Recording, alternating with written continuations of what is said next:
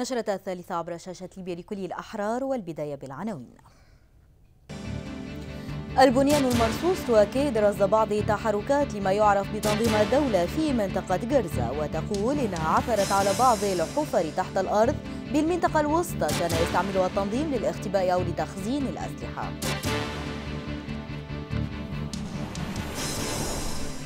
مدن الجنوب تعاني نقصا في الوقود وغاز الطهي وانقطاعا للمياه ووزير الحكم المحلي المفوض بحكومة الوفاق الوطني يؤكد عزمهم على حل مشاكل المنطقة واستئناف العمل بمحطة أباري مجموعة عمليات عمر المختار الموالية لقوات الكرامة تقول إن مقاتلاتها استهدفت أمس منصة للصواريخ غربية درنا ومسؤول الملف الأمني بمحلي المدينة يؤكد أن القصف كان بهدف ترويع السكان.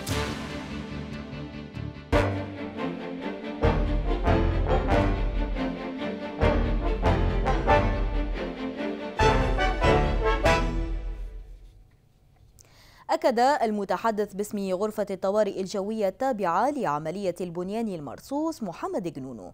العثور على بعض الحفر تحت الأرض في بعض الأودية في المنطقة الوسطى. كان يستعملها ما يعرف بتنظيم الدولة للاختباء أو لتخزين الأسلحة. وأضاف جنونو لقناة ليبيا لكل الأحرار أن قوات البنيان المرصوص رصدت بعض التحركات لما يعرف بتنظيم الدولة في منطقة جرزة. قائلا إنها تواصل عمليات تمشيط وملاحقة الفلول الهاربة لما يعرف بتنظيم الدولة في مناطق الأودية. وأوضح جنون أن سلاح الجو الليبي ينفذ بشكل يومي طلعات استطلاعية فوق المنطقة الوسطى الممتدة من جنوب سرت إلى جنوب مصراتة وزليت وقرزة قال عضو غرفة العمليات الميدانية الخاصة سرت الهادي دراه إن نازح المدينة من منطقة 30 إلى منطقة الغربيات عادوا إلى منازلهم. وأضاف دراه لقناة ليبيا لكل الأحرار أن سرايا الهندسة العسكرية تقوم بتمشيط منطقة السبعمية من الألغام وبقايا المتفجرات قبل السماح للأهالي بالعودة مشيرا إلى وجود ألغام وجثث تحت الأنقاض تابعة لما يعرف بتنظيم الدولة في عدة مناطق أخرى. وأوضح دراه أن عمليات تمشيط تستغرق وقتا نظرا لاستعمال سرايا الهندسة العسكرية معدات قديمة. قائلا إنه تمت مخاطبة السلطات الليبية والمجتمع الدولي لتوفير أجهزة حديثة. وينضم إلينا عبر الهاتف من مصراتة الباحث في الشؤون الأمنية والعسكرية سليمان بن صالح. سيد بن صالح بداية كيف تقرأ التحركات الأخيرة لما يعرف بتنظيم الدولة في المنطقة الوسطى خاصة بعد تدمير معسكري تدريب جنوب بوابة الخمسين الأسبوع الماضي من قبل سلاح الدعم الدولي؟ بسم الله والحمد لله والصلاة والسلام على رسول الله. يعني هؤلاء الذين يعني فروا من مدينة سرت بعد تحريرها من الدواعش لابد أن يجدوا مكان يستقروا فيه أه ويعاودوا أه ترتيب صفوفهم. وربما حتى يعني ليأخذوا بعض الراحة من جراء المعارك التي خاضوها في مدينة سرت هم الآن يلجؤون يعني إلى هذه الأماكن ويغيرون مواقعهم باستمرار. ولكن الحقيقة أن سلاح الجو وكذلك غرفة العمليات الجوية وغرفة البنيان المرصوص دائما في متابعة في متابعة مستمرة لهؤلاء. والحقيقة للتعامل معهم بالطريقة التي يعني يتم بها القضاء على هؤلاء أينما اختبأوا وأينما تواجدوا. يعني يعني هل تعتقد أن هذه الضربات الجوية من شأنها حقا أن تقضي نهائيا على ما يعرف بتنظيم الدولة في ليبيا خاصة أن الفلول الهاربة من سرت تحاول جمع شتاتها من جديد في بعض المناطق الوعرة جغرافيا جنوب سرت. بالتأكيد خاصة الضربة الجوية التي يعني نفذتها الطائرات الأفريكوم والطائرات الأمريكية على موقع للدواعش جنوب سرت كانت يعني غاره غارة ناجحة بنسبة 100% واستطاعت أن تقضي على هذا الموقع قضاء كاملا يعني لم يخرج منه أحد منهم حيا إلا تقريبا الا إلا شخصين أو عنصرين. أيضا كذلك الغارات التي تنفذها ينفذها سلاح الطيران الليبي أيضا حتى هي ربما يعني تكون ناجحة وإن لم تكن بنسبة 100% كما هي أو كما هو الحال للطائرات الأمريكية. ولكن نعم. هذه الغارات يعني تمنع هؤلاء من التجمع من جديد و احتلال مكان نعم, نعم سيد يعني سليمان بن صالح باحث في الشؤون الأمنية والعسكرية شكرا لك.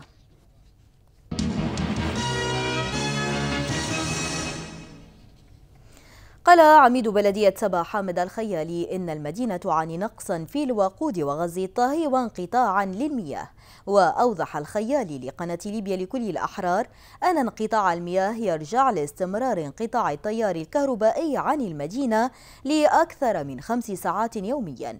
مشيرا إلى أن المجلس البلدي سيبحث اليوم الاثنين مع لجنة الأزمة أسباب نقص الوقود والغاز وإمكانية توفيره للمحطات ومراكز التوزيع في أقرب وقت ممكن. قال عميد بلدية غات المكلف محمد صالح إن المدينة تشهد ظروفا معيشية استثنائية نتيجة انقطاع التيار الكهربائي ونقص الوقود وغاز الطهي وشح السيولة النقدية. وأوضح صالح لقناة ليبيا لكل الأحرار أن صوانة غاز الطهي في غات وصل سعرها في السوق الموازية إلى أكثر من 120 دينارا الأمر الذي أثقل كاهل المواطن في ظل النقص الحاد في السيولة النقدية. مشيرا إلى أن بعض المصارف التجارية تفتقر حتى لأوراق الإيداع النقدي وأن جل عمليات البيع والشراء في المدينة تتم عبر الصكوك المصدقة التي توشك على النفاذ بحسب وصفه. هذا وبين صالح أن المجلس البلدي تواصل مع كافة الجهات المختصة بشأن الوضع في غاد ولكن دون جدوى حسب قوله. وفي سياق متصل أكدت صفحة رسمية لمكتب الأعلام والتوعية بمستشفى غاد تدني الخدمة الطبية في المستشفى نتيجة عدم توفر الأطباء المتخصصين ونقص الدواء والمعدات. يأتي ذلك خلال اجتماع عقده مدير المستشفى مع حكماء المدينة لبحث الصعاب التي تواجه سير العمل والمتمثلة في انقطاع التيار الكهربائي وعدم توفر وقود تشغيل المولدات فضلا عن توقف العمل في المراكز الصحية في المدينة الأمر الذي سبب ضغطا كبيرا على المستشفى العام. هذا وأوضحت صفحة المستشفى على فيسبوك أن المجتمعين اتفقوا على ضرورة توفير المستلزمات الطبية في أسرع وقت وتوفير الأطباء لضمان استمرار تقديم الخدمات إلى المواطنين. في سياق متصل أكد وزير الحكم المحلي المفوض بحكومة الوفاق الوطني الوفاق بداد غانسو أن المجلس الرئاسي عازم على حل مشكلة الكهرباء واستئناف العمل في محطة أباري الغازية. محطة أباري هي الهدف الآن الموجود أمام الحكومة وأمام المجلس الرئاسي وسنسعى بإذن الله في الأسابيع القادمة بزيارة إلى إلى تركيا للوقوف على كتب من مشاكل الشركة شركة تنكو التركية وستصل بإذن الله وستحل مشكلة الكهرباء بإذن الله تعالى. أكد أعضاء مجلس النواب عن المنطقة الجنوبية دعمهم الكامل لوفاق ليبي شامل يدعم الوئام الاجتماعي والسلم الأهلي موضحين أن تكريس الوضع الحالي لن يؤدي إلا إلى مزيد من الاقتتال والتشظي. وأوضح أعضاء مجلس النواب عن الجنوب في بيان لهم أنهم في حل من أي اتفاق أو خارطة تقدم على أنها حل للأزمة السياسية في حال لم يشاركوا في صياغتها من داخل قبة المجلس. وأضاف أعضاء مجلس النواب عن الجنوب بأنهم يبذلون قصارى جهدهم لإنهاء معاناة أهالي الجنوب في الوقت الذي يواجهون فيه أقصاء أو إقصاء من كافة الجهات الرسمية بالبلاد بحسب البيان. للتعليق حول الأوضاع في الجنوب ينضم إلينا عبر الأقمار الاصطناعية من طرابلس الباحث والأكاديمي فرج دردور. سيد دردور كيف تتابع وقع استمرار النقص الحاد لمقومات الحياة في مدن الجنوب؟ اولا مساء مساء الخير لك ولضيوفك والمشاهدين الكرام. نعم. الحقيقة الجنوب يعاني بسبب حقيقة آه، عدم تحمل آه، آه، أصحاب السلطة للمسؤولية حقيقة هم تجد الجميع متشبت بالسلطة ولكن عندما يتعلق الأمر بالمسؤولية لا أحد يتحمل مسؤولية ما يحصل في البلاد وخصوصا في الجنوب الليبي. وإذا طبقنا عليهم مبدأ أن السلطة هي مسؤولية أعتقد أنهم سوف يحاكمون بتهمة الخيانة العظمى أقصى عقوبات في القانون الليبي. هذا للأسف حقيقة اليوم الجنوب آه، صار آه، إهمال الجنوب صار بؤرة يعني جعل ليبيا عارية أمام كل التحديات الأمنية والإجرامية وأصبحت ليبيا معبر للمخدرات عن طريق الجنوب من كولومبيا طيب إلى السنغال وهل بمقدور المجلس الرئاسي آه يعني هل بمقدور المجلس الرئاسي في الأوضاع الراهنة بالجنوب الإيفاء بتعهداته لا سيما بعد إعلان وزير الحكم المحلي المفوض عزمهم حل مشكلة الكهرباء هناك. هو بالتأكيد يعني حلحلة موضوع الكهرباء و تشغيل محطة توباري التي لم يتبقى منها أقل من 90% حقيقة. هذا سيحسن الوضع ولكن الجنوب ليس مشكلته كهرباء حقيقة فقط الجنوب مشكلته التهريب مشكلته بيروغرافيا مشاكل كثيرة حقيقة وخصوصا ما يتعلق بملف الهجرة غير الشرعية. وهذا الملف حقيقة خطير جدا. أصبحنا نسمع تسربات وبعض التقارير أن ربما ليبيا تتعرض إلى استعمار من دول أوروبية آه، نتيجة هذا الملف آه، آه، ويكون مبرر أو ذريعة لربما يكون الجنوب أيضا في أيدي دول أخرى نعم. إذا التحديات كثيرة ليست مشكلة كهرباء وخدمات فقط وإنما مشاكل أمنية طيب. ومشاكل طيب. تتعلق طيب أيضا سيد دردور أعضاء مجلس النواب عن, عن الجنوب أكدوا بذلهم خسارة جهدهم لإنهاء معاناة أهالي الجنوب في تقديرك ما الذي ترتب عن هذا الموقف الذي سبقه تعليق عضويتهم؟ أنا أعتقد أن أعضاء مجلس النواب في الجنوب مع احترامي الشخصي لهم حقيقة لو قدموا أنفسهم بأنهم منظمة مجتمع مدني تهتم بأحوال الجنوب كان أفضل من أن يقدموا أنفسهم بأنهم مجلس نواب. لا أعتقد أن هناك جسم اسمه مجلس نواب بهذا الشكل.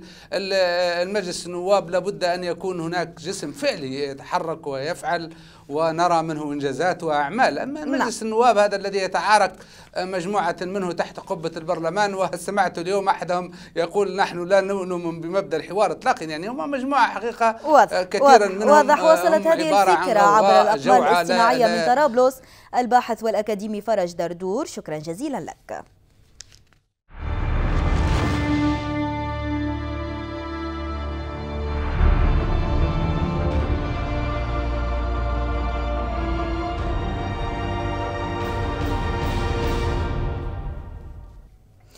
أكد المركز الإعلامي التابع لقوات الصاعقة مقتل عنصر من قواتها متأثرا بجروحه التي أصيب بها في منطقة بوسنيب وذلك خلال الاشتباكات التي جرت بين قوات عملية كرامة وقوات مجلس شورى ثوار بنغازي.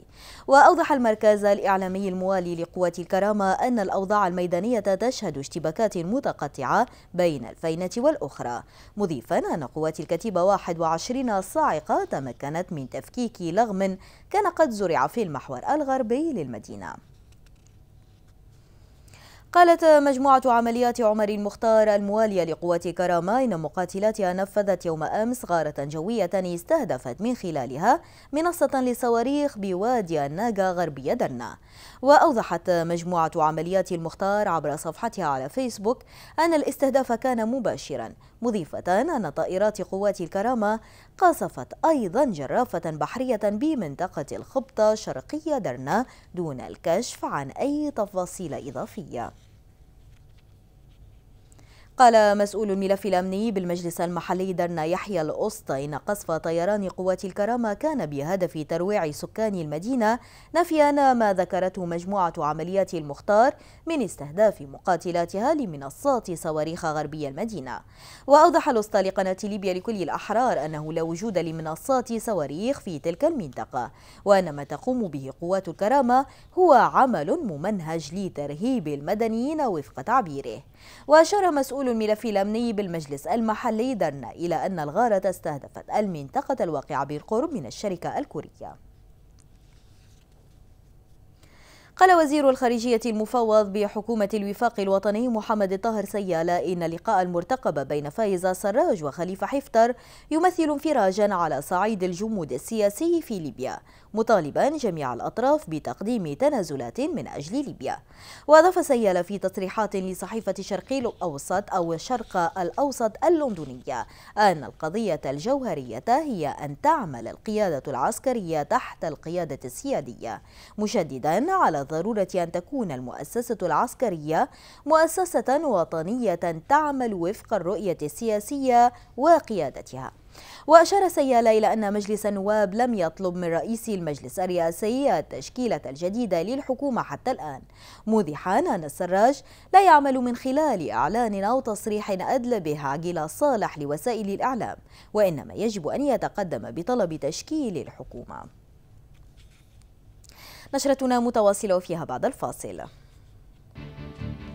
صحيفة الواشنطن بوست الأمريكية تصنف رواية الكاتب الليبي هشام مطر العودة في ترتيب الخامس من بين أفضل عشر روايات في العالم لعام 2016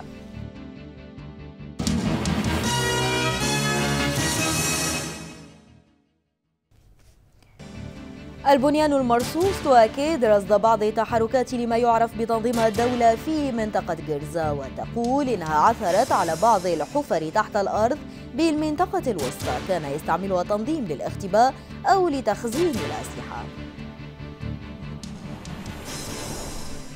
مدن الجنوب تعاني نقصا في الوقود وغاز الطهي وانقطاعا للمياه ووزير الحكم المحلي المفوض بحكومة الوفاق الوطني يؤكد عزمهم على حل مشاكل المنطقة واستئناف العمل بمحطة أباري مجموعة عمليات عمر المختار الموالية لقوات الكرامة تقول إن مقاتلاتها استهدفت أمس منصة للصواريخ غربية درنا. ومسؤول الملف الأمني بمحلي المدينة يؤكد أن القصف كان بهدف ترويع السكان. دانت مجموعة من الكتاب والمثقفين الليبيين مصادرة شاحنة الكتب من قبل مديرية أمن المرش معتبرين الحادثة محاولة لتكميم الأفواه ومصادرة الفكر والرأي. وأوضح البيان أن غياب مؤسسات الدولة المدنية ساهم في تفشي مثل هذه الممارسات وما تحمله من تداعيات على حرية التعبير في ليبيا حسب وصف البيان. وقال الكاتب الليبي منصور بوشناف أحد الموقعين على البيان لقناة ليبيا لكل الأحرار إن مصادرة الكتب بهذه الطريقة تعد مؤشرا خطيرا على حرية الفكر والمعرفة. وأضاف بوشناف أن مثل هذه الأعمال ترجع لاستمرار الفوضى الأمنية في البلاد وغياب المؤسسات الرسمية بحسب قوله. أعلن مصرف الدم المركزي التابع لوزارة الصحة بحكومة الوفاق الوطني استئناف العمل بعد توقف استمر لأيام نتيجة توقف مواد التشغيل. وأكد المصرف في خطاب وجهه لمدير المختبرات ومصارف الدم الفرعية حل أزمة مواد التشغيل بعد تدخل المجلس الرئاسي ووزارة الصحة مشيرا إلى أن العمل عاد بصورة طبيعية اعتبارا من يوم أمس الأحد. بدأت ببلدية صبراتة فعاليات ورشة عمل حول التمكين الاقتصادي للمرأة بتنظيم من المجلس البلدي وبدعم من مؤسسة هانس زايدل الألمانية وذلك في إطار الشراكة مع البلدية في التنمية المحلية والمجتمعية. المزيد يرصده التقرير التالي. في إطار تعزيز دور المرأة في ريادة الأعمال انطلقت ببلدية صبراتة فعاليات ورشة عمل حول التمكين الاقتصادي للمرأة. الورشة تهدف بحسب القائمين عليها وهم المجلس البلدي صبراتة بالتعاون مع مؤسسة هاينز زايدل الألمانية إلى تشجيع المرأة على الاستثمار وتعظيم دورها في الحياة الاقتصادية. حضور اليوم مساهمة في إعطاء ورشة تدريبية لمتدربات لسيدات أعمال داخل مدينة صبراتة الورشة هذه بدعم من مؤسسة هانزايدل وبدعم منظم الورشة اللي هو البلدية صبراتة يشارك في الورشة أكثر من عشرين متدربة ورائدة أعمال وصاحبات المشاريع الاقتصادية المتوسطة والصغرى وتركز الورشة على إطلاعهن على الأسس العلمية المتبعة في الإعداد والتخطيط للمشاريع الاقتصادية الصغرى والمتوسطة وإكسابهن مهارات تسويق المنتجات وكيفية الدخول إلى سوق العمل وتوسيع دائرة توزيع منتجاتهن في أكثر من منطقة. لضمان نجاح المشاريع التي تقوم بها المرأة الليبية. أعلنت الأمانة العامة للهلال الأحمر الليبي عن انطلاق حملة بادر ستة تحت شعار صحة وسلامة والتي تم من خلالها تقديم مساعدات طبية تتمثل في أدوية ومعدات طبية.